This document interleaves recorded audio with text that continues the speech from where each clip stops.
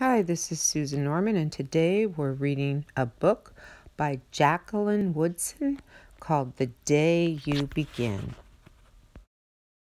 There will be times when you walk into a room and no one there is quite like you. Maybe it will be your skin, your clothes, or the curl of your hair. There will be times when no one understands the way words curl from your mouth, the beautiful language of the country you left behind. My name is Rigoberto. We just moved here from Venezuela. And because they don't understand, the classroom will fill with laughter until the teacher quiets everyone. Rigoberto from Venezuela your teacher says so soft and beautifully that your name and homeland sound like flowers blooming the first bright notes of a song.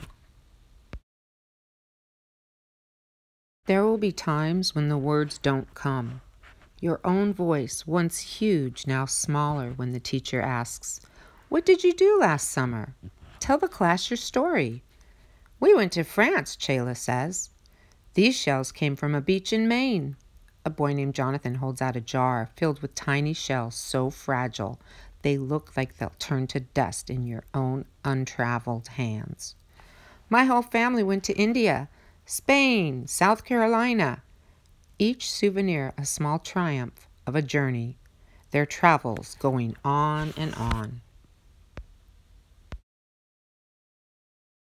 And as you stand in front of that room, you can only remember how the heat waved as it lifted off the curb, and your day spent at home caring for your little sister, who made you laugh out loud and hugged you hard at nap time.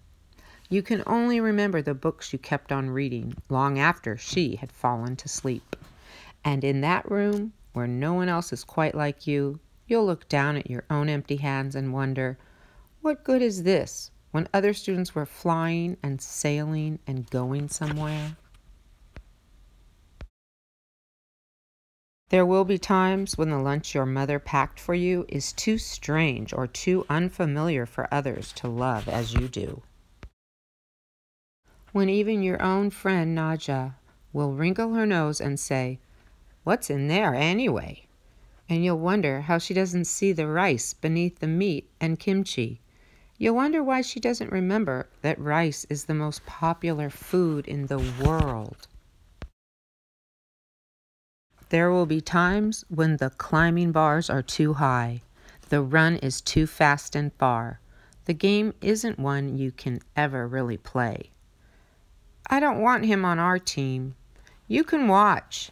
Maybe you can have a turn later. There will be times when the world feels like a place that you're standing all the way outside of and all that stands beside you is your own brave self, steady as steel and ready even though you don't know yet what you're ready for. There will be times when you walk into a room and no one there is quite like you until the day you begin to share your stories. My name is Angelina, and I spent my whole summer with my little sister, you tell the class, your voice stronger than it was a minute ago. Reading books and telling stories, and even though we were right on our block, it was like we got to go everywhere. Your name is like my sister's, Rigoberto says. Her name is Angelina, too. And all at once, in the room where no one else is quite like you, the world opens itself up a little wider to make some space for you.